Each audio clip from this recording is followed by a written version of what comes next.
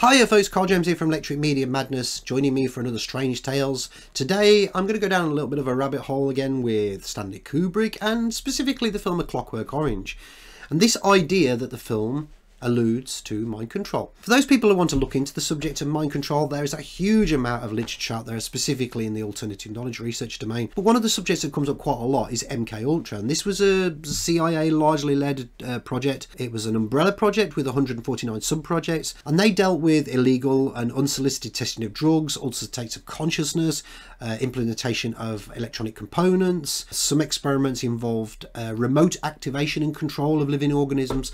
So it was all kinds of mind control that was going on here, as well as other types of uh, experimentation. Seemed to start around about 1953, something like that, and this subject came into the public domain in 1973. There was a commission to bring the information out into the public domain, and Richard Helms, then director of the CIA, decided to destroy and shred all of the documentation.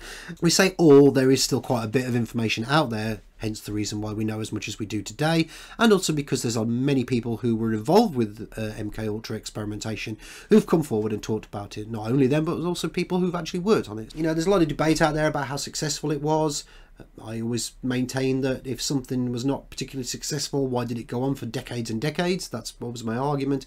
But again, there's a lot of information out there available. But let's get into the subject of Stanley Kubrick and A Clockwork Orange, because A Clockwork Orange, for all intents and purposes, is a film about mind control, uh, state-sponsored mind control, actually. So December 19th, 1971, the film was released in America, less than four years before the spectre of MK Ultra came into the public domain. So, you know, there it is out there, even before this information is becoming readily available to the masses. Uh, the film was released in the UK shortly after, I think it was January 13th, something like that, 1972. And it squarely tackles this idea of free will versus state control. But the specifics of the film are about morality, the dynamics of state sponsored behavioural modification, and the central character of Alex is where we see this story being played out. Him and his gang of droogs, uh, Pete, Georgie, and Dim, I think they're called. And they are violent sociopathic delinquents. Alex has got this interest in classical music and sexually assaulting people and this thing they term ultra violence. And they go out there and they just create chaos in their wake. No concern for the implications, the repercussions of it whatsoever. But eventually he does get caught and he, he's taken to prison. And in order to get his sentence reduced, he decides to put himself up for this experimental project, which is called the Ludovico technique. It's an attempted rehabilitation by controversial psychological conditioning, basically, and that's where we really, where the, the themes of mind control are really, really brought out in the film. And there was a lot of debate about what the film was really trying to say and do at the time. Kubrick rarely said much about his films, but he did say a few bits and pieces about Clockwork Orange in the Saturday Review, which I think it was 1972. I'll read this out from here. He, he called the film a social satire dealing with the question of whether behaviour behavioural psychology and psychological conditioning are dangerous new weapons for a totalitarian government to use to impose vast controls on its citizens and turn them into little more than robots. And Kubrick knew a lot about this subject. He was well educated man, he was well read, but he also had a lot of friends. I mean, included amongst his friends were the likes of uh, B.F. Skinner, who was a specialist in the aforementioned fields, and the likes of Margaret Mead as well. And we have a lot of connections there to things like the Tavistock Institute. And that really is where we go down the rabbit hole. Let's just look at people like John Watson and B.F. Skinner for a second. And you like Skinner, for example, his eponymous boxes and the practice of uh, operant conditioning, and they are effectively made manifest through the film's Deus Ex Machina, which is uh, the Ludovico technique. And people have suggested that the Ludovico technique existed outside of the narrative framework of the film. In other words, it existed in a real world domain for all intents and purposes, in all, all but in name alone and this was dismissed as nothing more than a parody of aversion therapy at the time. But again, don't forget that Kubrick had a lot of friends in these circles, you know, he had social psychology and all that kind of thing. Uh, Stanford Research Institute was another place where he had connections to, um, obviously Tavistock Institute mentioned, uh, CIA as well and things like that. So what I wanted to do really was just dip into some of that. But I also want to go to uh, the original source of the film, which is the book, Anthony Burgess' 1962 novella of the same name, Clockwork Orange, because that book provided Kubrick with much of the source material for the film. And there's this interesting article by a chap called Paul Gallagher entitled Anthony Burgess and the Top Secret Code in A Clockwork Orange. and it discusses some of the insight into the and the possible connections uh, that Burgess may have had with the practice of state-sponsored mind control. And the principal research source for this article is this chap called Roger Lewis. He wrote this highly controversial and in some cases highly dubious biography of Burgess called Anthony Burgess, but there are some highlights which raise some very, very important questions. One of which is a meeting between Anthony Burgess and alleged British Secret Service agent. And the agent allegedly told Lewis that Burgess was not totally responsible for writing A Clockwork Orange and it was actually the British Secret Service that played a significant role in the authorship of this book. Make of that what you will. According to Roger Lewis, his contact said that, quoted from the book actually, I'll read this out to you mind control experimentation conducted by Dr. Ewan McCameron at the Allen Memorial Institute in Montreal between 1957 and 1963, and remote neural monitoring facility that operated out of Fort Meade uh, the CIA were funding controversial research programs into electronic brain stimulation. They induced exhaustion and nightmares in the patients, put hoods or cones over people's heads to broadcast voices directly into their brain. They irradiated the auditory cortex or inner ear. When patients had their own speech played back to them incessantly, they went insane. Sounds like Alex in a Clockwork Orange. Uh, there was a misuse of civilians in these covert operations, and intelligence on these devices remains classified.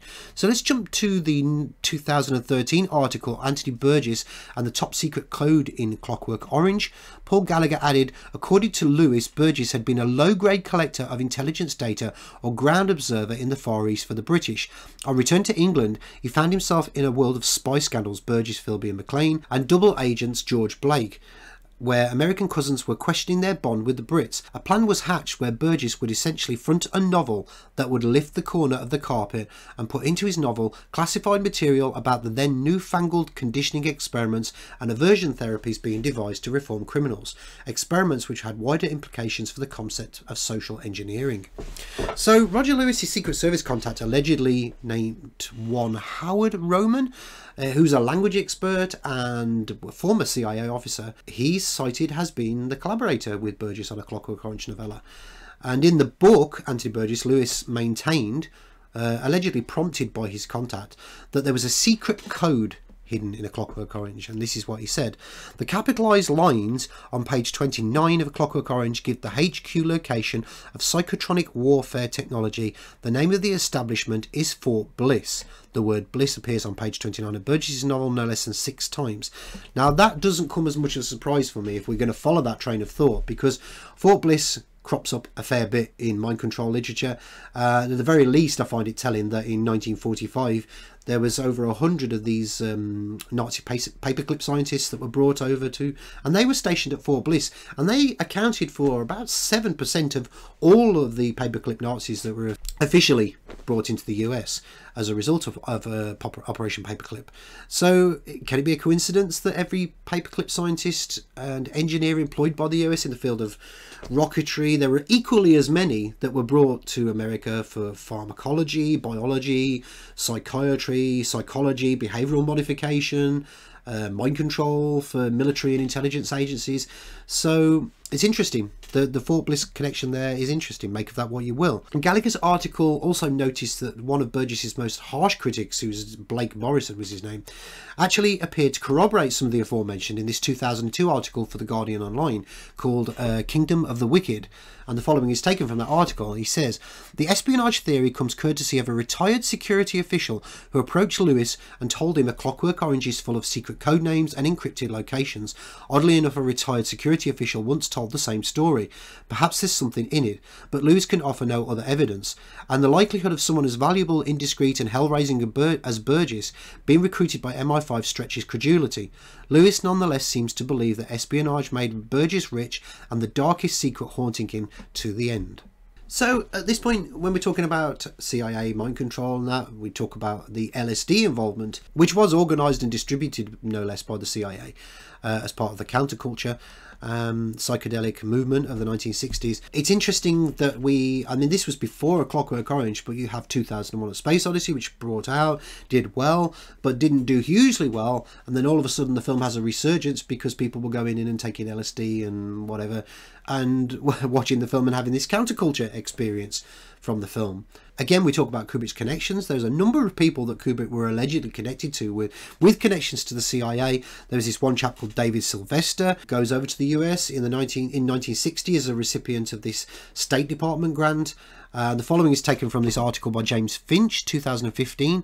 David Sylvester, a British critic in New York, and it says In the 1960s, Encounter found itself at the centre of a scandal when it emerged that the magazine, which was ostensibly funded by Anti Communist Congress for Cultural Freedom, was in fact financed by the CIA.